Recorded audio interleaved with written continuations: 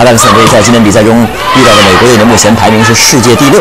美国队呢，这次呢是由郎平领衔率队，可以说呢是引起了各方的关注。目前中国国家队的主教头，目前在美国呢率领这支美国队呢，呃，在整体的世界比赛中呢，已经是出现了改头换面的一面，给人一种非常亮丽的感觉。那么这次美国队虽然是。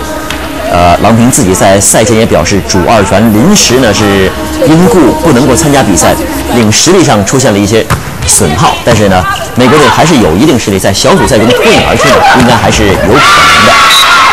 但是今天这场比赛呢，确实形成了一场，呃，可以说是势均力敌的较量。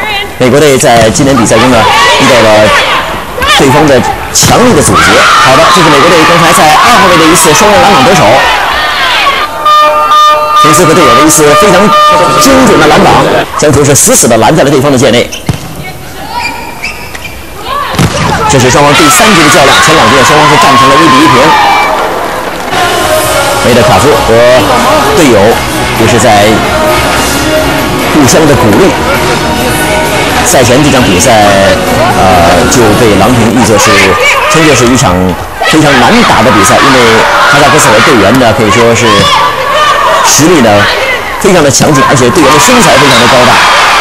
双方在今天的比赛中啊，美国队刚才是拿到赛点的情况下，哈萨克斯坦队又做出了顽强的抵抗。现在哈萨克斯坦反而是拿到了局点。好的，这次是在比赛中利用一次近体快球得手，将比分是扳成了二比二。双方要进行最后决胜局的较量。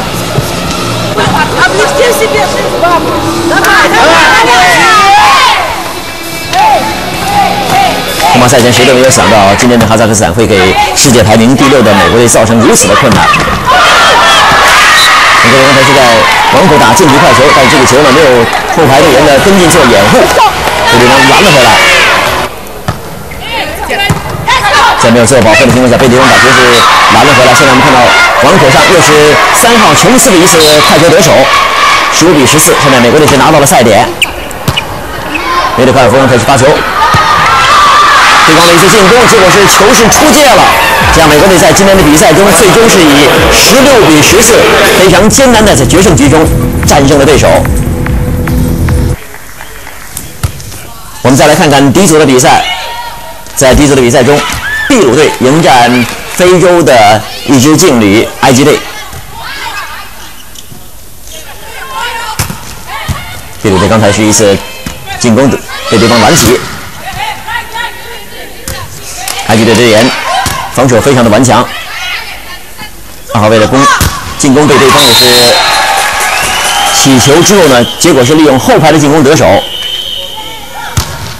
秘鲁队在连下两胜以后，现在是又拿到了赛点，二十四比十二。